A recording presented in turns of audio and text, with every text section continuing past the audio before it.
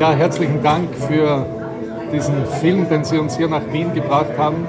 Sie haben uns sicher vor allem diesen Geist der, der Selbstlosigkeit der Mönche spüren lassen durch diesen Film und auch den Geist äh, der Nähe zu den Ursprüngen, zu Gott, wie es jeder auch erleben mag. Und ich hoffe, dass das auch äh, diese Botschaft in diese Welt hinausgeht, weil ich glaube, diese Welt braucht heute diese Botschaft.